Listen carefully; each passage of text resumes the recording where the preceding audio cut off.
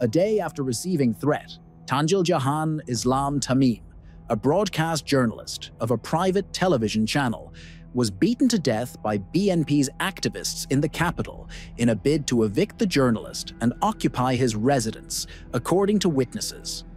According to witnesses and family members, around 10:30 a.m., BNP leader Robiul Alam and MD Mamun, a deputy director of Department of Narcotics Control, led the cadres who broke into the house, locked into altercation, and afterwards beaten up the journalist. The attackers also beaten up two others, leaving them with fractured leg, and another had been hit on his head. But loss of life would have been averted as the family members on October 9th went to police station in Hatirjheel to file a complaint after receiving threats from Rabiul, who brought BNP cadres in evening October 9th, issued veiled threat unless the family of the journalist leave their residence.